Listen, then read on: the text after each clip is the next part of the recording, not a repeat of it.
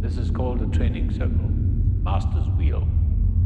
This circle will be your world, your whole life.